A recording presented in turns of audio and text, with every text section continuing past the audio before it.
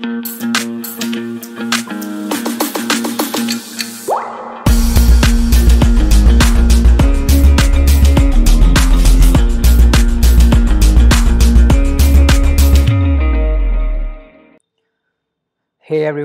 welcome back to the layman way तो चलिए अपने लेक्चर सीरीज़ आगे कंटिन्यू करते हैं।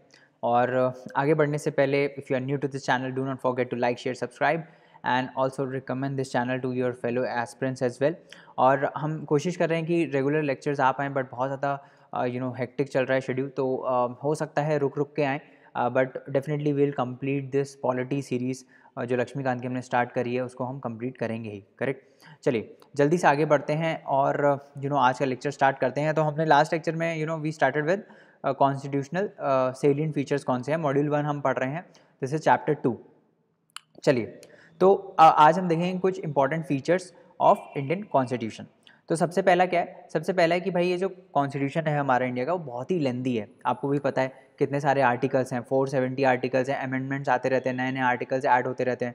25 पार्ट्स में टोटल ये यू you नो know, जो कॉन्स्टिट्यूशन है हमारा डिवाइडेड है और इसके साथ साथ 12 शेड्यूल्स हैं। अब क्वेश्चन ये आता है कि ठीक है मैंने मान लिया कि इतने लंबे हैं इतना बड़ा है बट क्यों है इतना बड़ा? बाकी यूएसए का कॉन्स्टिट्यूशन देखो, बाकी कंट्रीज़ का कॉन्स्टिट्यूशन देखो, इतना बड़ा नहीं है बट हमारा इतना बड़ा क्यों है? तो उसके कुछ कुछ पर्टिकुलर रीजन्स हैं। लेट्स ट्राई टू सी कि वो रीजन्स क्या क्या हैं। तो सबसे पहला तो आप मेरे को ये बताओ कि इंडिया में कितनी ज़्यादा डाइवर्सिटी है है ना? बहुत ज़्यादा डाइवर्सिटी है इंडिया में। अगर आप पाँच किलोमीटर की रेंज में जाओ आपको इतनी डाइवर्सिटी मिलेगी इतने कास्ट के लोग मिलेंगे इतने अलग अलग रिलीजन के लोग मिलेंगे करेक्ट तो इतना ज़्यादा डाइवर्सिटी को बेसिकली यू नो एक ही uh, पूरे एक ही यूनियन ऑफ़ इंडिया में मतलब पूरे भारत में अकोमोडेट करना उनके लिए भी हमको प्रोविजंस डालने पड़े। हर एक रिलीजन uh, कास्ट के लिए हमको प्रोविजंस डालने पड़े। तो इस वजह से काफ़ी लंबा हो गया है ना? Due to due to diversity of the nation है ना? डाइवर्सिटी की वजह से ये काफ़ी लंबा हो गया है हमारा कॉन्स्टिट्यूशन करेक्ट और बड़ा भी बहुत है ना, आप यू नो लेंथ ब्रेथ देखोगे तो लेंथ ब्रेथ के अक्रॉस आप इंडिया की डाइवर्सिटी देखोगे तो आपको बहुत ज़्यादा कास्ट और यू नो रिलीजन्स वगैरह मिलेंगे करेक्ट तो सबको, सबके इंटरेस्ट को अकोमोडेट करना, सबके प्रोविजंस को इंक्लूड करना, इस वजह से ये लंबा हो गया बेसिकली कॉन्स्टिट्यूशन है ना? उसके साथ दूसरा दूसरा रीज़न क्या आता है? हिस्टोरिकल फैक्टर्स अब हिस्टोरिकल फैक्टर्स में क्या है कि भाई हमने काफ़ी जो पार्ट है इंडिया इंडियन कॉन्स्टिट्यूशन का, वो गवर्नमेंट ऑफ़ इंडिया एक्ट जो 1935 था, उससे हमने बोरो कर लिया है। तो गवर्नमेंट ऑफ़ इंडिया एक्ट 1935 ही बहुत ज़्यादा यू नो बल्कि था। उससे हमने आधे प्रोविज़न तो हमने उसी से बोरो कर लिए। हैं तो इस वजह से भी ये काफ़ी लंबा है हमारा, है ना? उसके साथ साथ हमारे जो कॉन्स्टिट्यूशन है, वो एक सिंगल कॉन्स्टिट्यूशन है। ऐसा नहीं है कि सेंटर के लिए अलग कॉन्स्टिट्यूशन है स्टेट के लिए अलग है है ना? ऐसा नहीं है। एक ही सिंगल कॉन्स्टिट्यूशन है, उसी में सबके प्रोविजंस हैं, है ना? तो इस वजह से सब स्टेट्स के भी प्रोविज़न इंक्लूड करना और क्या बोलते हैं यू नो सेंटर के भी प्रोविजंस एक ही डॉक्यूमेंट में इंक्लूड करना इससे कॉन्स्टिट्यूशन बहुत ज़्यादा बल्कि बन गया। इसके साथ साथ जो कॉन्स्टिट्यूंट असेंबली थी हमारी, उसमें मोस्टली कौन थे? उसमें मोस्टली लॉयर्स थे। अब लॉयर्स कोई भी चीज़, कोई भी डॉक्यूमेंट लिखते हैं तो वो हर एक चीज़ को डिफाइन करते हैं। हर एक चीज़ को बहुत एक्सटेंसिवली डिफाइन किया जाता है कि भाई ये पार्ट है, ये ऐसे होगा, ये वैसे होगा। तो इस वजह से डिटेलिंग की वजह से, है ना? डिटेल्ड एडमिनिस्ट्रेटिव प्रोविजंस उसमें इंक्लूड किए गए, हैं ना? और डिफरेंट डिफरेंट पॉलिटिकल कन्वेंशन को भी इसमें इंक्लूड किया गया है। तो इस वजह से ये बहुत ज़्यादा बहुत ज़्यादा लंबा हो गया है कॉन्स्टिट्यूशन बहुत ज़्यादा लेंदी हो गया है। समझ में आ गया? अब इसके बाद आगे बढ़ते हैं। दूसरा रीज़न क्या है? दूसरा रीज़न दूसरा रीज़न नहीं सॉरी दूसरा फीचर क्या है? दूसरा फीचर ये है कि हमने बहुत सारे जो प्रोविजंस हैं इंडियन कॉन्स्टिट्यूशन में, वो बाकी कॉन्स्टिट्यूशन से भी बोरो किए हैं। जैसे कनाडा के कॉन्स्टिट्यूशन से बोरो किए हैं यूएसए के कॉन्स्टिट्यूशन से बोरो किए हैं जर्मनी के कॉन्स्टिट्यूशन से बोरो किए हैं ना? ऑस्ट्रेलिया के कॉन्स्टिट्यूशन से बोरो किए हैं। तो चलिए, जल्दी से हम आगे बढ़ते हैं और देखते हैं ऐसे कौन कौन से प्रोविजंस हैं जो हमने डिफरेंट डिफरेंट कॉन्स्टिट्यूशन से बोरो किए हैं। करेक्ट आगे बढ़ते हैं। तो सबसे पहला आता है गवर्नमेंट ऑफ़ इंडिया एक्ट 1935 तो गवर्नमेंट ऑफ़ इंडिया एक्ट ये आपको एकदम एज इट इज़ याद करना है है ना? इसमें कोई समझाने वाली चीज़ नहीं है। इसको आपको एज इट इज़ याद करना है, चार पाँच बार छः बार, सात बार, आठ बार देखोगे इसको तो वो याद धीरे धीरे होने लगेगा। एक बार में याद नहीं होगा। तो आपको देखते रहना है इसको याद बार बार रिवाइज करते रहना है। तो गवर्नमेंट ऑफ़ इंडिया एक्ट 1935 से कौन कौन से फीचर्स हमने बोरो किए हैं? फेडरल स्कीम हमने बोरो किया है गवर्नर का ऑफ़िस के प्रोविजंस जो है वो हमने इसी से बोरो किए हैं जुडिशरी के provisions public service commission emergency provisions administrative details ये सारे हमने गवर्नमेंट ऑफ़ इंडिया एक्ट 1935 से बोरो किए हैं। उसके बाद ब्रिटिश कॉन्स्टिट्यूशन से हमने क्या क्या बोरो किया है? पार्लियामेंट्री फॉर्म ऑफ़ गवर्नमेंट किया है रूल ऑफ़ लॉ किया है लेजिस्लेटिव प्रोसीजर किया है सिंगल सिटीजनशिप का कंसेप्ट किया है कैबिनेट सिस्टम किया है पेरोगेटिव रिट्स किए हैं पार्लियामेंट्री प्रिवलेजेस किए हैं बाई कैमरलिज्म का कंसेप्ट लिया है हमने ब्रिटिश कॉन्स्टिट्यूशन से करेक्ट उसके साथ यूएस कॉन्स्टिट्यूशन में आए अगर हम तो वहाँ पे फंडामेंटल राइट्स हो गए इंडिपेंडेंस ऑफ़ जुडिशरी हो गया जुडिशल रिव्यू का कंसेप्ट हो गया इम्पीचमेंट हो गया removal of supreme court and high court जजेस हो गया पोस्ट ऑफ़ वाइस प्रेसिडेंट हो गया, ये सब बोरो किया है। आयरिश कॉन्स्टिट्यूशन से क्या क्या बोरो किया है? Directive principles of state policy borrow किया है। Nomination of members to the Rajya Sabha borrow किया है। Method of election of the president borrow किया है। कनाडा के कॉन्स्टिट्यूशन से federation with a strong centre vesting of residuary powers in the centre appointment of state governors by the centre and advisory jurisdiction of supreme court ये सब हमने Canada के constitution से borrow किया है। उसके बाद ऑस्ट्रेलिया के कॉन्स्टिट्यूशन से क्या क्या बोरो किया है? कॉन्करेंट लिस्ट हो गया फ्रीडम ऑफ़ ट्रेड हो गया freedom of trade commerce and inter intercourse हो गया राइट उसके बाद joint sitting of two houses of the parliament हो गया। ये सब हमने ऑस्ट्रेलिया के कॉन्स्टिट्यूशन से बोरो किया है। वेमार कॉन्स्टिट्यूशन मतलब जर्मनी का जो कॉन्स्टिट्यूशन है, उससे क्या क्या बोरो किया है? Suspension of fundamental rights during emergency ये हमने जर्मनी के कॉन्स्टिट्यूशन से बोरो किया है। उसके बाद सोविंथ यूनियन के कॉन्स्टिट्यूशन से हमने क्या क्या बोरो किया है? Fundamental duties and ideal of justice ठीक है? सोशल इकोनॉमिक पॉलिटिकल ये जो भी फंडामेंटल ड्यूटीज़ का कंसेप्ट है, वो हमने रशिया के कॉन्स्टिट्यूशन मतलब सोवियत यूनियन के कॉन्स्टिट्यूशन से बोरो किया है करेक्ट फ्रेंच कॉन्स्टिट्यूशन की बात करें तो रिपब्लिक जो है रिपब्लिक का फीचर है और ideals of liberty equality fraternity वो सब हमने वहीं से बोरो किया है।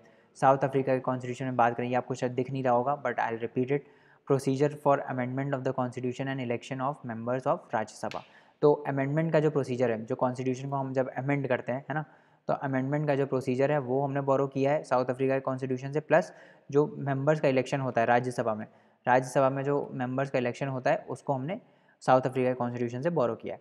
जापानीज़ कॉन्स्टिट्यूशन से हमने क्या क्या बोरो किया है? प्रोसीजर इस्टेब्लिश बाय लॉ तो जो प्रोसीजर इस्टेब्लिश बाय लॉ है है ना प्रोसीजर इस्टेब्लिश बाय लॉ वो हमने कहाँ से बोरो किया है? वो हमने बोरो किया है जापानी जापान के कॉन्स्टिट्यूशन से करेक्ट इतना याद हो गया। अब इस पर क्वेश्चन करते हैं, जो यूपीएससी पहले पूछ चुका है। करेक्ट तो पहला क्वेश्चन क्या है? यूपीएससी जो पहले पूछ चुका है constitution of India borrowed the scheme of Indian federation from the constitution of 1992 में ये क्वेश्चन आया था। कहाँ से इंडिया ने इंडियन फेडरेशन का स्कीम बोरो किया है? तो अभी हमने देखा था, कहाँ से किया है? कैनेडा से किया है। करेक्ट ये लिखा है, देखो यहाँ पे लिखा है। Federation with a strong centre कहाँ से बोरो किया है? कैनेडा कॉन्स्टिट्यूशन से, है ना? तो ये डायरेक्ट स्ट्रेट अवे क्वेश्चन पूछा जा चुका है। तो इसीलिए इंपॉर्टेंट भी हो जाता है, जो कंसेप्ट पे पहले क्वेश्चन पूछा जा चुका है, वो अभी भी रेलिवेंट है, ऐसा नहीं है ऑप्सलीट हो गए करेक्ट आगे बढ़ते हैं। अब अगला फीचर आता है कि जो हमारा इंडियन कॉन्स्टिट्यूशन है it is a blend of rigidity and flexibility क्या मतलब है? देखो, पहले हम कोई भी चीज़ को समझने का सबसे अच्छा तरीका होता है, उसके वर्ड को समझ लो। तो जैसे यहाँ पे दो वर्ड्स आ रहे हैं, क्या आ रहे हैं? रिजिडिटी और फ्लेक्सिबिलिटी व्हाट इज़ रिजिडिटी जैसे ये देखो, इंसान है, ये क्या कर रहा है? ये ये शुभ इंसान क्या कर रहे हैं कि ये भाई, ये रॉड को मोड़ने की कोशिश कर रहे हैं, है ना? तो ये रॉड को मोड़ने की कोशिश कर रहे हैं बट इनको बहुत फोर्स लगाना पड़ रहा है इस रॉड को यू नो क्या करने के लिए? बेंड करने के लिए। तो ये रॉड को हम क्या बोलेंगे? ये रॉड बहुत ज़्यादा रिजिड है। रिजिड मतलब ये चेंज इसका शेप चेंज करने में या फिर इसका जो भी स्टेट है, उसको चेंज करने में बहुत ज़्यादा मेहनत लग रही है है ना? ईजिली चेंज नहीं हो रहा है करेक्ट ईजिली चेंज नहीं हो रहा है ना? बहुत ज़्यादा मेहनत लग रही है। ऐसे ही मान लो अगर मैं आयरन की रॉड ले आऊँ, है ना? आपको बोलूँ कि भाई इस आयरन की रॉड को बेंड करना है तो शायद आपको और ज़्यादा फोर्स लगे, है ना? और ज़्यादा आपको मेहनत करना पड़े उसको चेंज करने में। तो इसी को बोलते हैं रिजिडिटी रिजिडिटी मतलब अगर कोई चीज़ चेंज करने में बहुत ज़्यादा एफर्ट लग रहा है, उसको बोलते हैं दैट इज़ रिजिड है ना? फ्लेक्सिबिलिटी जस्ट इसका उल्टा है। रिजिडिटी का जस्ट उल्टा फ्लेक्सिबिलिटी कोई चीज़ बहुत ही ईजिली चेंज कर पा रहे हैं हम तो दैट इज़ कॉल्ड फ्लेक्सिबिलिटी अब इंडियन कॉन्स्टिट्यूशन के रिस्पेक्ट में इसका क्या मतलब होगा कि भाई अगर हम इंडिया का जो कॉन्स्टिट्यूशन है है ना? इंडिया का जो कॉन्स्टिट्यूशन है, उसके अगर प्रोविजंस को उसमें हम ईजिली चेंज कर पाएँ है ना? उसको अगर हम ईजिली चेंज कर पाएँ तो हम बोलेंगे कि कॉन्स्टिट्यूशन कैसा है? कॉन्स्टिट्यूशन है फ्लेक्सिबल और अगर हम उसके प्रोविजंस को यू you नो know, बहुत डिफ़िकल्टी से चेंज कर पाए है ना? तो उसको हम क्या बोलेंगे? कि कॉन्स्टिट्यूशन जो है वो क्या है? रिजिड है. समझ में आया? रिजिड और फ्लेक्सिबिलिटी का कंसेप्ट रिजिड मतलब आप कॉन्स्टिट्यूशन को अमेंड जो है वो बहुत मेहनत से कर पाओगे मतलब बहुत ईजिली नहीं कर पाओगे. बहुत प्रयास लगेंगे, बहुत सबसे अप्रूवल लेना पड़ेगा, तब जाके वो कॉन्स्टिट्यूशन अमेंड होगा। बहुत ही टफ है। ये वर्ड सही है, बहुत ही टफ है कॉन्स्टिट्यूशन को अमेंड करना। तो हम बोलेंगे कि इट इज़ रिजिड फ्लेक्सिबिलिटी मतलब बहुत ही ईजी है। मतलब ऑर्डनरी लॉ के प्रोसेस से ही कॉन्स्टिट्यूशन को हम अमेंड कर सकते हैं तो दैट इज़ कॉल्ड फ्लेक्सिबिलिटी तो इसके एग्जाम्पल्स की बात करते हैं तो जैसे रिजिड रिजिड कॉन्स्टिट्यूशन कहाँ का है? यूएसए का। यूएसए में बहुत ही मुश्किल से कॉन्स्टिट्यूशन अमेंड होता है। फ्लेक्सिबल कौन सा है? फ्लेक्सिबल ब्रिटेन का है। ब्रिटिश ब्रिटेन का जो कॉन्स्टिट्यूशन है वो बहुत ही फ्लेक्सिबल है ना? बहुत ही ईजिली ऑर्डनरी लॉ के प्रोसेस से ही उसको अमेंड कर देते हैं करेक्ट और इंडिया का कहीं बीच में है। तो ब्रिटेन से ज़्यादा मतलब रिजिड है बट अमेरिका से कम रिजिड है। समझ में आया? ठीक है? ये कंसेप्ट समझ में आया? अब इंडिया में जो कॉन्स्टिट्यूशन अमेंड करने का प्रोसीजर है, उसमें हम बोलते हैं कि भाई आर्टिकल 368 के अंदर ये प्रोविज़न दिए हुए हैं, है ना? तो आर्टिकल 368 जो है वो दो टाइप के अमेंडमेंट की बात करता है। एक तो है स्पेशल मेजोरिटी जिसमें क्या होता है स्पेशल मेजोरिटी में क्या होता है कि भाई, जब बिल, मान लो बिल आया, है ना? बिल आया, उसको सपोर्ट करने वाले आधे मेंबर होने चाहिए। मतलब total membership of the house जो है है ना? टोटल मेंबरशिप उसके आधे लोग उसको सपोर्ट करें। और जब एक्चुअल वोटिंग हो रही है बिल की तो two third of the members जो हों, जो समय प्रेजेंट हो और वोट कर रहे हो, वो उसके फेवर में वोट करें। तब वो बिल पास होता है और वो एक्ट बनता है, ठीक है? दूसरा प्रोसीजर क्या है? दूसरा प्रोसीजर भी यही है बट उसमें एक चीज़ एडिशनल और हो जाती है स्पेशल मेजोरिटी प्लस उसमें हमको स्टेट के जो लेजिस्लेचर्स हैं, है ना? स्टेट के जो लेजिस्लेचर्स हैं, उनके भी आधे लेजिस्लेचर्स का मतलब half of the state legislatures का क्या चाहिए होता है? अप्रूवल चाहिए होता है या रेटिफिकेशन चाहिए होता है। समझ में आ गया? Half of the state legislatures का क्या चाहिए होता है? रेटिफिकेशन चाहिए होता है या अप्रूवल चाहिए होता है।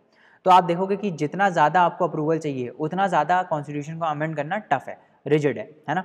तो इंडिया, आप देखो कि इंडिया में दोनों है। रेजिडिटी भी है कुछ हद तक और फ्लेक्सिबिलिटी भी है है ना? इतना ईजिली भी अमेंड नहीं कर सकते। स्पेशल मेजोरिटी से करना पड़ता है है ना? कुछ प्रोविज़न स्पेशल मेजोरिटी से करने पड़ते हैं, है ना? और कुछ provision special majority plus half of the state legislatures के रेटिफिकेशन से करने होते हैं। तो ऐसे प्रोविज़न जनरली फेडरल प्रोविज़न रहते हैं, जो यू नो पावर्स के डिस्ट्रीब्यूशन को चेंज कर रहे होते हैं या सब्जेक्ट्स को चेंज कर रहे होते हैं, है ना? या प्रेसिडेंट की पावर्स को चेंज कर रहे होते हैं। ऐसे टाइप के provision basically special majority plus half of the state legislatures के रेटिफिकेशन से ही चेंज होते हैं। तो ऐसे प्रोविज़न को हम क्या बोलेंगे? ऐसे प्रोविज़न रिजिड प्रोविजंस है है ना? चेंज करना मुश्किल है करेक्ट तो दो टाइप की मेजोरिटी हैं। अब ये ध्यान रखना कि कॉन्स्टिट्यूशन को अमेंड हम सिंपल मेजोरिटी से भी कर सकते हैं। जैसे अबॉलिशन ऑफ़ लेजिस्लेटिव काउंसिल्स है। ये वाला जो प्रोविज़न है लेजिस्लेटिव काउंसिल को बनाने और अबॉलिश करने का, ये सिंपल मेजोरिटी से ही हो सकता है। बट ये जो अमेंडमेंट है it is not considered as amendment under article 368 जब भी हम कॉन्स्टिट्यूशनल अमेंडमेंट की बात जनरली कर रहे होते हैं तो हम उन अमेंडमेंट्स की बात कर रहे होते हैं जो आर्टिकल 368 के अंदर के थ्रू अमेंड होते हैं। ठीक है? समझ में आ गया? तो ये ध्यान रखना कि सिंपल मेजोरिटी से भी हो सकता है बट उसको हम constitution amendment under article 368 consider नहीं करते। ठीक है? समझ में आ गया? आगे बढ़ते हैं। आई गेस रिजिडिटी फ्लेक्सिबिलिटी का कंसेप्ट समझ में आ गया। उसके बाद अगला फीचर आता है federal system with unitary bias है ना? तो आपको पता है इंडिया क्या है? इंडिया एक फेडरेशन है है ना? What is the meaning of federal setup क्या होता है एक फेडरल सेटअप या फेडरेशन क्या होता है? व्हाट इज़ अ फेडरेशन तो फेडरेशन क्या होता है कि भाई जिस भी कंट्री में जो पावर है वो डिवाइडेड है दो आ, दो मतलब दो स्टेजेस में मतलब एक स्टेट के पास पावर है और एक सेंटर के पास पावर है। तो सेंट जो पावर का डिस्ट्रीब्यूशन है वो सेंटर और स्टेट सेंटर और स्टेट में डिवाइडेड है। जो पावर का डिस्ट्रीब्यूशन है वो सेंटर और स्टेट में डिवाइडेड है। जो पावर है, इन दोनों के बीच में डिवाइडेड है तो उसको हम बोलते हैं फेडरल सेटअप, है ना? अब इंडिया का जो, जैसे, अब जैसे यूएसए है यूएसए में प्रॉपर फेडरेशन है ना? यूएसए में प्रॉपर फेडरेशन है सेंटर के पास पावर है डिफाइंड स्टेट के पास डिफाइंड पावर है है ना? बट इंडिया में ऐसा नहीं है है ना? इंडिया में क्या है? इंडिया को हम बोलते हैं federation with a unitary bias है ना? अब यूनिटरी बायस क्या है? देखो फेडरेशन में क्या है कि पावर डिवाइड हो रही है सेंटर और स्टेट के बीच में है ना? सेंटर और स्टेट के बीच में पावर डिवाइड हो रही है। यूनिटरी का क्या मतलब है? What is the meaning of unitary unit का मतलब क्या होता है? What is the meaning of unit unit मतलब सिंगल वन है ना? तो यूनिटरी का मतलब ये है कि सारी पावर किसी एक के हाथ में है। लेट्स से सेंटर के हाथ में सारी पावर सेंटर के हाथ में that is unitary unitary thing unitary distribution of power है ना? कि सारी पावर जो है वो एक ही गवर्नमेंट uh, के हाथ में दैट इज़ सेंटर तो अब यूनिटरी बायस का मतलब क्या हुआ? What is the meaning of unitary bias unitary bias का मतलब ये है कि भाई इंडिया का जो कॉन्स्टिट्यूशन है, वो फेडरल तो है मतलब प्रॉपर सब्जेक्ट्स डिफाइंड है। सेंटर के पास कुछ सब्जेक्ट हैं स्टेट के पास कुछ सब्जेक्ट हैं बट कुछ ऐसे भी तरीके हैं जहाँ पे सेंटर के पास मोनोपोली है पावर की, जैसे एमरजेंसी प्रोविजंस अब एमरजेंसी के टाइम क्या होता है? एमरजेंसी के टाइम सारी पावर सेंटर के हाथ में आ जाती है स्टेट के हाथ में कोई पावर नहीं होती है है ना? तो ये एक प्रोविज़न हो गया जिसमें भाई सिर्फ़ सेंटर कंट्रोल कर रहा है। कुछ ऐसे प्रोविज़न हैं जिसमें सिर्फ़ सेंटर के हाथ में ही पावर है स्टेट के हाथ में पावर नहीं है। तो इसीलिए हम बोलते हैं कि जो ये इंडियन का इंडिया का कॉन्स्टिट्यूशन है that is a federal constitution but with a unitary bias unitary bias मतलब कुछ ऐसे प्रोविज़न हैं जिसमें सिर्फ़ सेंटर पावर एक्सरसाइज करता है स्टेट नहीं करता है। समझ में आ गया? इसको ऐसे भी बोलते हैं कि it is a federal system with a unitary tilt federation तो है बट यूनिटरी यूनिटरी सेटअप के तरफ़ थोड़ा इंक्लाइंड है है ना? तो हम फेडरल फीचर्स की अगर हम बात करें कि ऐसे कौन कौन से फेडरल फीचर्स हैं इंडियन कॉन्स्टिट्यूशन में तो जितने भी ऐसे प्रोविजंस हैं जिसमें पावर दो दो पार्टीज़ के बीच में डिवाइड हो रही हो सेंटर और स्टेट के बीच में। तो जैसे दो गवर्नमेंट हो गए, है ना? दो गवर्नमेंट हो गए डिवीज़न ऑफ़ पावर हो गया रिटर्न कॉन्स्टिट्यूशन हो गया। रिटर्न कॉन्स्टिट्यूशन क्यों है? क्योंकि भाई, जब कॉन्स्टिट्यूशन लिखा हुआ है कॉन्स्टिट्यूशन में डिफाइंड है कि सेंटर के पास क्या पावर है स्टेट के पास क्या पावर है है ना? तो आप ऐसा नहीं हो सकता कि भाई स्टेट की पावर सेंटर एक्सरसाइज कर रहा है, ऐसा नहीं हो सकता। लिखा हुआ है proper supremacy of the constitution है। कॉन्स्टिट्यूशन सुप्रीम है कॉन्स्टिट्यूशन के ऊपर कोई नहीं है है ना? तो वो वेल डिफाइंड कॉन्स्टिट्यूशन है रिजिडिटी ऑफ़ द कॉन्स्टिट्यूशन मतलब कॉन्स्टिट्यूशन को अमेंड करना डिफ़िकल्ट है। ऐसा नहीं है कि अगर स्टेट के पास कोई पावर है स्टेट के पास कोई यू you नो know, किसी लॉ किसी पर्टिकुलर सब्जेक्ट में बनाने की पावर है तो बहुत ही ईजिली सेंटर उसको ओवरटेक कर सकता है। ऐसा नहीं है है ना? ऐसा नहीं है। रिजिड है थोड़ा कॉन्स्टिट्यूशन जुडिशरी इंडिपेंडेंट है, कोई भी लॉ होता है, उसको जुडिशरी क्या कर सकती है? जुडिशरी रिव्यू कर सकती है उसका, है ना? तो ऐसे कोई आर्बिटरी पावर एक्सरसाइज नहीं कर सकता। बाय कैमरलिज्म है बाय कैमरलिज्म आपको पता है क्या अपर हाउस है और लोअर हाउस है हमारे पास, है ना? दोनों हाउस है, सबका रिप्रेजेंटेशन है, ठीक है? सबके पास इक्वल पावर्स है राइट तो this is called federal these are federal features तो ये आपको लर्न करने हैं as it is federal features जो भी हैं, ये एज इट इज़ लर्न करने हैं, थोड़ा कनेक्ट करके, थोड़ा कंसेप्चुअल कनेक्ट करके आपको ये exactly लर्न करने हैं। उसके बाद यूनिटरी फीचर्स के में बात करते हैं। तो ऐसे फीचर्स जिसमें पावर किसी एक ही हाथ में चली जाए, जैसे सेंटर हमारा थोड़ा ज़्यादा स्ट्रॉग है ना? सेंटर के पास ज़्यादा पावर सेंटर के अगर आप जो सेवन शेड्यूल में सब्जेक्ट्स हैं, जो सेवन शेड्यूल में सब्जेक्ट्स हैं, वो भी, उसका भी अगर आप डिस्ट्रीब्यूशन देखोगे तो सेंटर के पास अराउंड हंड्रेड सब्जेक्ट्स हैं, है ना? और स्टेट के पास कम है है ना? अराउंड सिक्सटी सिक्सटी सिक्सटी के आसपास सब्जेक्ट्स हैं। तो स्टेट के पास कम है, सेंटर के पास काफ़ी ज़्यादा है। तो यहीं से पता चल रहा है कि सेंटर को ज़्यादा महत्व दिया गया है, सेंटर के पास ज़्यादा पावर्स हैं, है ना? इसीलिए तो यूनिटरी टिल्ट बोल रहे हैं, ठीक है? तो स्ट्रॉन्ग सेंटर हो गया। सिंगल कॉन्स्टिट्यूशन है, एक ही कॉन्स्टिट्यूशन है सेंटर और स्टेट के लिए जहाँ भी सिंगल आ जाए that is a unitary feature single citizenship again a unitary feature है ना? Flexibility of the constitution flexibility of the जहाँ, यहाँ पर रिजिडिटी ऑफ़ द कॉन्स्टिट्यूशन था, है ना? बट हमने बोला कि इंडिया का जो सिस्टम है वो क्या है? ब्लेंड है। रिजिडिटी और फ्लेक्सिबिलिटी का बेंड है। तो रिजिडिटी भी है थोड़ी और फ्लेक्सिबिलिटी भी है थोड़ी करेक्ट तो फ्लेक्सिबिलिटी वाला पार्ट क्या हो गया? यूनिटरी फीचर हो गया, क्योंकि भाई सेंटर ईजिली अमेंड करके पावर ले सकता है स्टेट की, है ना? उसके बाद जुडिशरी क्या है? एक ही जुडिशरी है इंटीग्रेटेड है अलग अलग नहीं है कि भाई जो सेंटर के लॉज अलग इंप्लीमेंट करेगी स्टेट के लॉज अलग इंप्लीमेंट करेगी, ऐसा कुछ नहीं है। इंटीग्रेटेड जुडिशरी है है ना? स्टेट गवर्नमेंट का अपॉइंटमेंट सेंटर करता है। अब भाई सेंटर अपॉइंट कर रहा है गवर्नर को, और गवर्नर कौन होता है भाई? जैसे हमारा जैसे ये है है ना? जैसे यहाँ पे सेंटर में प्रेसिडेंट होता है है ना? President is the head of the state for मतलब पूरे नेशन का हेड ऑफ़ द स्टेट होता है। वैसे ही governor head of the state होता है किसके? स्टेट्स के लिए, है ना? ये स्टेट्स को हेड करता है करेक्ट तो ये अपॉइंट कौन कर रहा है? ये अपॉइंट सेंटर कर रहा है। तो इसका मतलब स्टेट सेंटर के इनडायरेक्ट कंट्रोल में है है ना? इनडायरेक्ट कंट्रोल में है। तो ये क्या हो गया? एक यूनिटरी फीचर हो गया। ऑल इंडिया सर्विसेज़ का रिक्रूटमेंट ऑल दो अपॉइंट सेंटर करता है है ना? बट काम वो स्टेट्स के लिए करते हैं। अगेन यूनिटरी फीचर ऐसे ही एमरजेंसी प्रोविजंस एमरजेंसी प्रोविजंस में क्या होता है? एमरजेंसी प्रोविजंस में भी यही होता है कि सारी पावर जो होती है स्टेट की या जो भी एडिशनल पावर्स होती हैं, वो सारी किसके पास आ जाती हैं? वो सारी सेंटर के पास आ जाती हैं करेक्ट समझ में आ गया? तो ये भी आपको इस टाइप से समझ के थोड़ा लर्न करना है। दोनों फेडरल फीचर्स भी और यूनिटरी फीचर्स भी करेक्ट अब फेडरेशन जो एज अ वर्ड है it is not mention in the constitution तो ये ध्यान रखना कि फेडरेशन कहीं मैंशन नहीं है, बहुत ही इंपॉर्टेंट स्टेटमेंट है। हम बोलते हैं India is a federation but federation कहीं मैंशन नहीं है। जो भी मैंशनड है आर्टिकल वन में that is union of states ठीक है? तो आर्टिकल वन जो है, वो क्या बोलता है कि India that is Bharat shall be a union of states and not a federation of states ठीक है? तो फेडरेशन वर्ड कहीं मैंशन नहीं है यूनियन वर्ड मैंशन है। अब आपके दिमाग में क्वेश्चन आ रहा होगा कि भाई यूनियन ऑफ़ स्टेट्स मैंशन क्यों है? Why union of states why not federation of states उसके कुछ रीजन्स हैं। पहला रीज़न क्या है कि भाई फेडरेशन कब बनता है? फेडरेशन का बेसिक कंसेप्ट कब बनता है? व्हाट इज़ अ फेडरेशन और फेडरेशन का बेसिक कंसेप्ट कब बनता है? कि जब डिफरेंट डिफरेंट यूनिट्स या फिर इस केस में आप स्टेट्स बोल लो डिफरेंट डिफरेंट स्टेट्स जो हैं, वो आपस में आते हैं, है ना?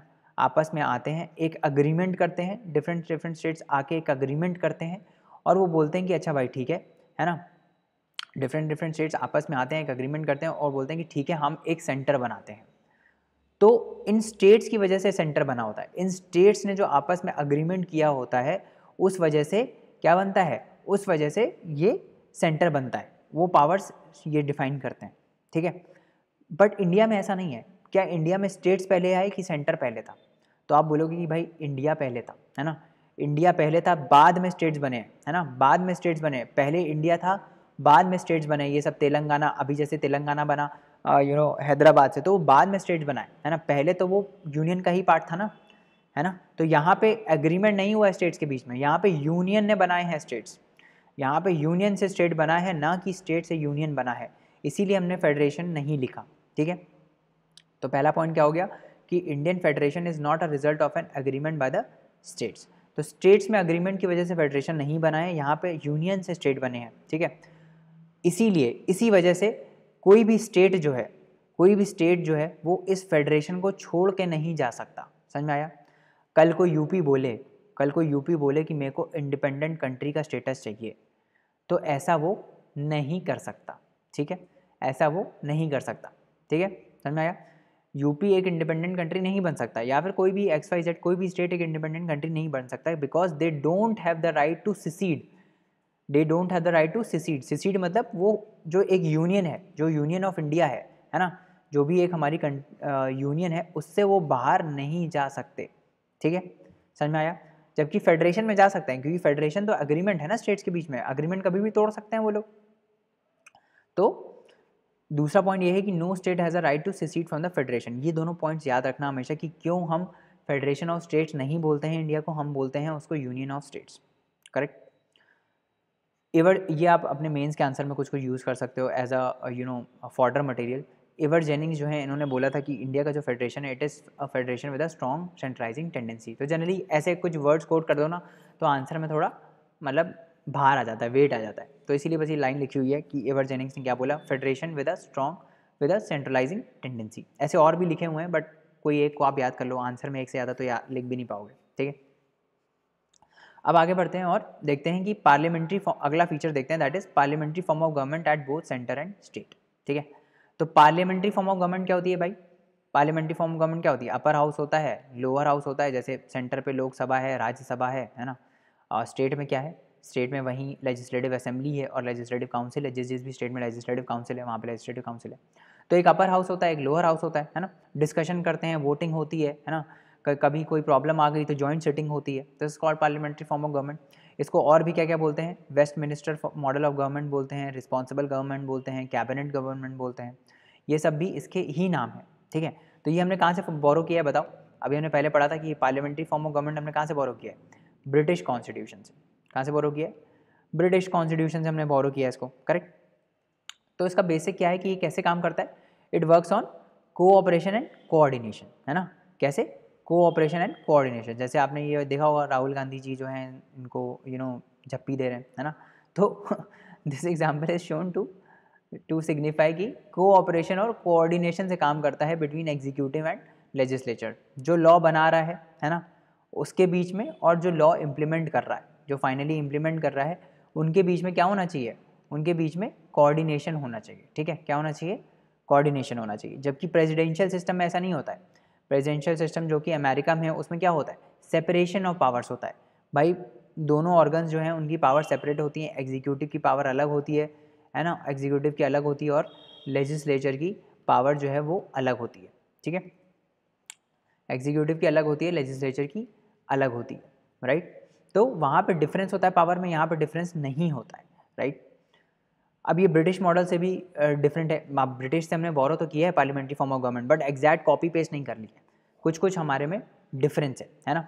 जैसे इंडिया में क्या है? इंडिया में हेड जो है वो इलेक्टेड होता है, क्योंकि इंडिया एक रिपब्लिक कंट्री है है ना? इंडिया में जो हेड हेड होता है, जैसे जो हमारे प्रेसिडेंट हैं, उनको इलेक्ट किया जाता है है ना? इनडायरेक्टली इलेक्टेड होते हैं वो। जबकि ब्रिटेन में ऐसा नहीं है। ब्रिटेन में वो हेरिडेटरी है है ना? किंग होते हैं, वहाँ किंग और क्वीन होती हैं, है ना?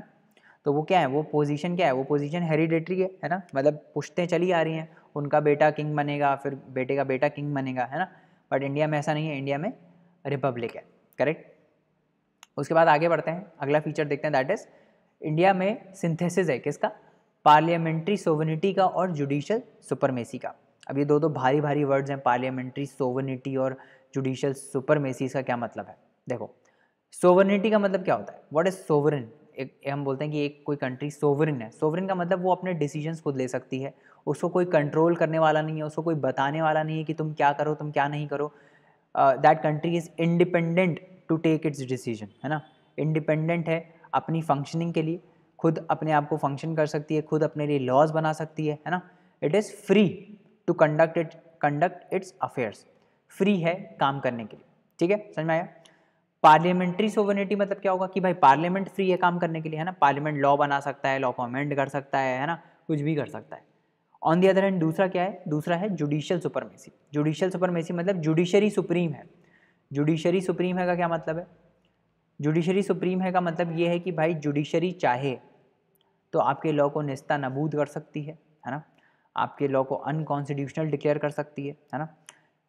कोई भी लॉ बन रहा है, उसको जुडिशरी चेक करेगी, उसको नहीं समझ में आया तो वो लॉ को हटा देगी। दैट इज़ जुडिशल सुपरमेसी मतलब सुपरमेसी किसकी है? जुडिशरी की है।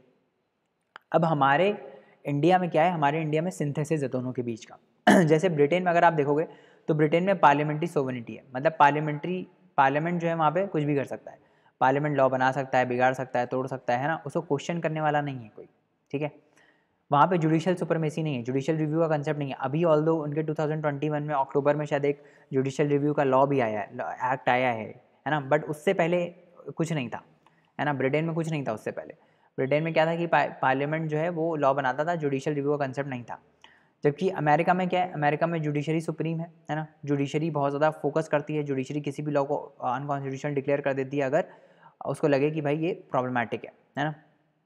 तो पावर ऑफ़ जुडिशियल रिव्यू है जुडिशियल सुपरमेसी में। जुडिशियल सुपरमेसी का यही मतलब होता है कि जुडिशरी जो है, जो भी लॉ बन रहा है, उसको रिव्यू करके अगर उसको नहीं समझ में आता, उसको लगता है कि ये अन मतलब ये प्रोविजंस के अकॉर्डिंग नहीं जा रहा है तो वो उसको अनकॉन्स्टिट्यूशनल डिक्लेयर कर सकती है। समझ में आ गया?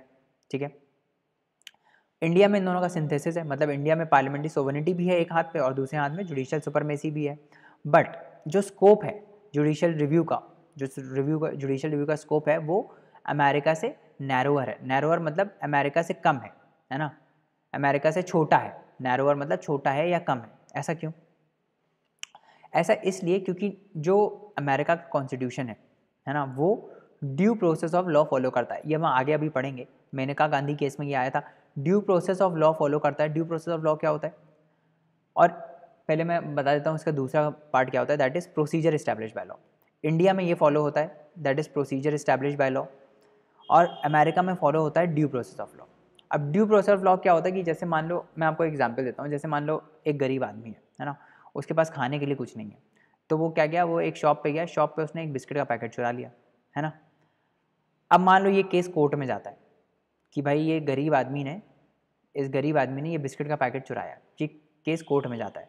तो प्रोसीजर इस्टेब्लिश बाय लॉ क्या होता है कि भाई तुमने क्राइम किया है, आपने चोरी का क्राइम किया है आपको सज़ा मिलेगी। जो प्रोसीजर होगा वो फॉलो करके सज़ा मिलेगी। भाई लेट्स सेक्शन 141 में इसकी सज़ा है है ना? तो उसको सज़ा मिल जाएगी। ठीक है? ड्यू प्रोसेस ऑफ़ लॉ क्या होता है? वो रीजनेबिलिटी भी देखता है लॉ की। रीजनेबिलिटी देखने का क्या मतलब है कि भाई, वो देखेगा कि भाई इस आदमी की, ये आदमी बहुत गरीब है, बेचारे के पास खाने के लिए कुछ नहीं था। अगर वो नहीं खाता तो वो मर जाता। तो ये रीजनेबिलिटी क्वेश्चन में आ रही है ना? सब्सटैंशियल पार्ट ऑफ़ लॉ को भी वो देखता है। ठीक है? तो हो सकता है वो इसके क्राइम को माफ़ कर दे या कोई पेनल्टी लगा के छोड़ दे कि भाई तुमने जो बिस्किट का पैकेट लिया, उसके तुम पैसे वापस कर दो, है ना? और फिर तुम जा सकते हो, है ना? तो this is called due process of law पहले इंडिया में नहीं फॉलो होता था, अभी कन्वेंशन में है है ना? ऑल दो कॉन्स्टिट्यूशन में कहीं मैंशन नहीं है ड्यू प्रोसेस ऑफ़ लॉ ये ध्यान रखना। कॉन्स्टिट्यूशन जो आर्टिकल ट्वेंटी वन मैंशन करता है that is procedure establish by law और मैंने अभी जब हम लोग ये फीचर्स पढ़ रहे थे कि हमने क्या क्या बोरो किया है कहाँ कहाँ से तो मैंने आपको ये भी बताया था कि ये जो प्रोसीजर इस्टेब्लिश बाय लॉ है, ये हमने किस कॉन्स्टिट्यूशन से बोरो किया है। कमेंट करके बताओ कि किस कॉन्स्टिट्यूशन से हमने इसको बोरो किया है रिविजन भी होता रहेगा, ठीक है? तो इंडिया में क्या है? इंडिया में बेसिकली सिंथेसिस है। एक साइड पे पार्लियामेंट कॉन्स्टिट्यूशन को अमेंड कर सकता है है ना? एक साइड पे पार्लियामेंट जो है वो कॉन्स्टिट्यूशन को अमेंड कर सकता है फंडामेंटल राइट्स को भी कर सकता है। दूसरे साइड पे जुडिशरी जो है वो रिव्यू कर सकता है लॉज को, है ना? कि अगर कॉन्स्टिट्यू अगर पार्लियामेंट ने ऐसा कोई लॉ बना दिया जो बेसिक स्ट्रक्चर को वॉयलेट कर रहा है तो वो उस लॉ को अनकॉन्स्टिट्यूशनल डिक्लेयर कर देता है है ना? तो दोनों है साथ में, है ना? समझ में आया? करेक्ट इसीलिए इसको बोलते हैं कि ये सिंथेसिस है है ना? सिंथेसिस है पार्लियामेंट्री सोवनिटी का और जुडिशियल सुपर मेसी का, समझ में आया? ठीक है? फिर आता है integrated and independent judicial integrated का मतलब क्या है और इंडिपेंडेंट का मतलब क्या है, ये मैं दोनों बता चुका हूँ आपको। इंटीग्रेटेड मतलब एक सिस्टम है कोर्ट का मतलब सबसे ऊपर सुप्रीम कोर्ट आता है है ना? फिर उसके नीचे हाई कोर्ट आता है है ना? फिर उसके नीचे सबॉर्डिनेट कोर्ट्स आते हैं। ये सारे कोर्ट्स एक इंटीग्रेटेड फ्रेमवर्क में काम करते हैं। मतलब एक के बाद एक काम करते हैं। जो केसेस पहले केस यहाँ पे आता है, फिर यहाँ पे नहीं हैंडल हो पाता है तो ऊपर जाता है, फिर यहाँ पे नहीं हो पाता है तो और ऊपर जाता है है ना? तो इस टाइप से काम करता है है ना? और इंटीग्रेटेड जुडिशरी का ये भी मतलब है कि भाई एक ही कोर्ट है मतलब सिंगल सिस्टम ऑफ़ कोर्ट्स है है ना? ऐसा नहीं है कि सेंटर के लॉज को इम्प्लीमेंट करने के लिए अलग जुडिशरी है स्टेट के लॉज को इम्प्लीमेंट करने के लिए अलग जुडिशरी है, ऐसा नहीं है। सारी जुडिशरी सेंटर के भी लॉ को इम्प्लीमेंट करती हैं और स्टेट के भी लॉ को इम्प्लीमेंट करती हैं। समझ में आ रहा है? ठीक है? और दूसरा क्या है? इंडिपेंडेंट इंडिपेंडेंट मतलब कि भाई ये किसी के ऊपर, किसी के मोहताज नहीं है है ना? एग्जीक्यूटिव और लेजिस्लेचर से अलग काम करते हैं, है ना? अब आप बोलोगे कि कैसे? ऐसा कैसे है? मतलब इंडिपेंडेंट का मतलब क्या है? इंडिपेंडेंट का मतलब ये है कि देखो भाई, इसको फ़र्क नहीं पड़ता कि पावर में कौन सी गवर्नमेंट है। पावर में कौन सी गवर्नमेंट है, ये निष्पक्ष होकर अपना डिसीज़न सुनाती है है ना? अब इसको इंश्योर करने के लिए, इस, इसके इंडिपेंडेंस को इंश्योर करने के लिए कुछ कुछ प्रोविजंस हैं कॉन्स्टिट्यूशन में, है ना? वो देखते हैं हम कौन कौन से कॉन्स्टिट्यूशन में फीचर्स हैं। मतलब इंडिपेंडेंट इंडिपेंडेंस इंश्योर करने के लिए मतलब इसके जो जजेस हैं, जो जुडिशरी के जजेस हैं या जो भी मेंबर्स हैं, वो निष्पक्षता के साथ काम करें मतलब बिना किसी को फेवर दिए काम करें, उसके लिए क्या क्या प्रोविजंस हैं कॉन्स्टिट्यूशन में? लेटस सी तो पहला है सिक्योरिटी ऑफ़ टेन्योर जो जजेस होते हैं, उनको टेन्योर की सिक्योरिटी दी जाती है कि भाई आप 65 एज तक काम करोगे या जो भी एज तक आपका है 62 एज तक काम करोगे, ये फिक्स्ड उनका टेन्योर रहता है है ना? तो उनको सिक्योरिटी रहती है कि भाई अब मेरे को मेरे को तो कोई निकाल नहीं सकता।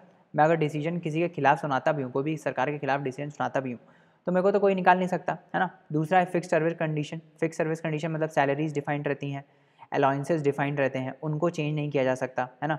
जो सैलरीज होती हैं वो कॉन्स्टिट्यूशनल जो कंसोलिडेटेड फंड ऑफ़ इंडिया होता है, उसके ऊपर चार्ज होती हैं। चार्ज का मतलब इसके ऊपर वोटिंग नहीं होती है। वोटिंग नहीं होती कि भाई ये जो सैलरी है, कितनी हम देंगे इस बार सुप्रीम कोर्ट के जज को या यू नो हाई कोर्ट के जज को, ये ऑटोमेटिकली डिफाइंड रहती हैं, उतना कंसोलिडेटेड फंड ऑफ़ इंडिया से जाता ही है पैसा, ठीक है? तो उनको फाइनेंस का भी कोई दिक्कत नहीं है उनको ऐसा भी नहीं है कि भाई वोटिंग हो रही है तो कोई वोट करके उनकी सैलरी कम कर देगा। ऐसा भी नहीं है इससे भी इंडिपेंडेंस इंश्योर हो रहा है है ना? उसके बाद आप जो बिहेवियर है जजेस का उसको डिस्कस नहीं कर सकते। अनटिल अनलेस उनके जजेस के रिमूवल का प्रोसीजर चल रहा हो तब तक आप क्या नहीं कर सकते? तब तक आप बेसिकली uh, उनके कंडक्ट को डिस्कस नहीं कर सकते कोर्ट में ठीक है? तो जैसे कभी कभार कोर्ट बहुत ही हार्श डिसीज़न सुना देता है ना? तो बिहेवियर के ऊपर आप यू you नो know, चर्चा नहीं कर सकते ठीक है? समझ में आएगा रिटायरमेंट जब उनका हो जाता है तो उसके बाद उसके बाद उनको प्रैक्टिस करने के लिए मना है है ना? वो प्रैक्टिस नहीं कर सकते रिटायरमेंट के बाद। क्योंकि देखो, इससे कैसे इंडिपेंडेंस इंश्योर हो रहा है? मान लो कोई यू नो इनको फेवर दे देता है कि भाई आप रिटायर हो गए ना तो आप मेरे पास आ जाना। आप मेरे पास आ जाना, मैं आपको अच्छी खासी सैलरी दूँगा। तो वो उसके फेवर में यू नो फेवर में काम कर सकता है। तो इनको ये भी बार्ड है कि भाई वो रिटायरमेंट के बाद भी प्रैक्टिस नहीं कर सकते। ठीक है? समझ में आ गया? Separation of judiciary from executive and so on तो बहुत सारे ऐसे प्रोविजंस हैं जो इस इंडिपेंडेंस को इंश्योर करते हैं। समझ में आ गया? उसके बाद आते हैं फंडामेंटल राइट्स तो फंडामेंटल राइट्स अलग फीचर है। पार्ट थ्री में है। सिक्स फंडामेंटल राइट्स हैं। कौन कौन से हैं? Right to equality right to freedom right against exploitation right to freedom of religion cultural and education rights and right to constitution remedies ये सारे फीचर्स हैं। फंडामेंटल राइट्स के। फंडामेंटल राइट्स क्या करते हैं? पॉलिटिकल डेमोक्रेसी को प्रमोट करते हैं। है ना? समझ में आ गया? जस्टिसिएबल होते हैं नेचर में और इन्फोर्सेबल होते हैं। ये सब हम आगे बात करेंगे, है ना? कोर्ट्स इनको इन्फोर्स करते हैं, है ना? उसके बाद ये एब्सोल्यूट नहीं है। ऐसा नहीं है कि आपके पास ये राइट है तो एब्सोल्यूट है। जैसे राइट टू फ्रीडम है तो इसका मतलब ये नहीं कि आप कुछ भी कहीं भी जा सकते हो, कुछ भी बोल सकते हो, ऐसा कुछ नहीं है है ना? तो रेस्ट्रिक्शन सबके ऊपर है है ना? समझ में आ रहा है? रेस्ट्रिक्शन सबके ऊपर है। ये क्या हेल्प करते हैं? ये हमको ये हमको बेसिकली पावर देते हैं और जो एग्जीक्यूटिव है उसके कोई आर्बिट्री लॉ आ रहा है, कोई आर्बिट्री लॉ चीज़ इंप्लीमेंट हो रही है, उसको प्रिवेंट करते हैं, है ना? उसके ऊपर लिमिटेशंस लगाते हैं। समझ में आ गया? इनको सस्पेंड किया जा सकता है इमरजेंसी के time except article twenty and twenty one article twenty और ट्वेंटी वन को नहीं किया जाता, बाकी सारे जितने भी यू नो राइट्स हैं, उनको सस्पेंड किया जा सकता है। समझ में आ गया? उसके बाद आगे बढ़ते हैं और directive principles of state policy की बात करते हैं। तो डीपीएसपी पार्ट फोर में है। तीन कैटेगरीज में इसको डिवाइड किया गया सोशलिस्ट गांधीन और लिबरल इंटेलेक्चुअल ये ध्यान रखना कि ये जो तीन जो डिविजन आप देख रहे हो, ये कॉन्स्टिट्यूशन में मैंशन नहीं है, ये हमने अपने खुद से किए हैं, है ना? ये क्या करते हैं? ये सोशल और इकोनॉमिक डेमोक्रेसी के आइडिया को प्रमोट करते हैं, है ना? एक वेलफेयर स्टेट इस्टेब्लिश करने की कामना करते हैं और ये नॉन जस्टिसिएबल हैं और नॉन एनफोर्सेबल हैं। जैसे फंडामेंटल राइट्स जस्टिसिएबल और एनफोर्सेबल थे, ये लोग नॉन जस्टिसिएबल हैं और नॉन एनफोर्सेबल हैं, है ना? मतलब कोर्ट्स गारंटी नहीं करता इनको प्रोटेक्ट करने का, ठीक है? Similar thing is with fundamental duties ये किसमें है? पार्ट फोर ए में है. Forty second constitution amendment act 1976 के थ्रू इनको इंक्लूड किया गया था. कौन सी कमेटी के रिकमेंडेशन पे? स्वरण सिंह कमेटी के रिकमेंडेशन पे. ठीक है? इनिशियली दस थे, बाद में एक और ऐड हो गया थ्रू 86 कॉन्स्टिट्यूशन अमेंडमेंट एक्ट जिसमें एजुकेशन का राइट था, है ना? मतलब एजुकेशन का प्रोविज़न था. ये भी नॉन जस्टिसेबल और नॉन एनफोर्सेबल है है ना? दे रिस्पेक्ट द जैसे क्या क्या है? Respect the constitution national flag को रिस्पेक्ट करो नेशनल एंथम को रिस्पेक्ट करो सोवनिटी को प्रोटेक्ट करो यूनिटी को करो इंटीग्रिटी ऑफ़ द कंट्री को यू नो प्रोटेक्ट करो ठीक है? ये सारे फीचर्स हैं फंडामेंटल ड्यूटीज़ में। समझ में आ गया? कितना है और काफ़ी है और अभी है ना? तो ऐसा करते हैं कि ये जो बाकी uh, के यू नो फीचर्स हैं वो हम नेक्स्ट लेक्चर में पढ़ेंगे है ना? नहीं तो लेक्चर थोड़ा लंबा हो जाएगा करेक्ट चलिए अगले लेक्चर में मिलते हैं। सेक्युलर स्टेट से स्टार्ट करेंगे अगले लेक्चर में है ना? तब तक पढ़ते रहिए हार्ड वर्क करते रहिए। Thank you so much bye bye and take care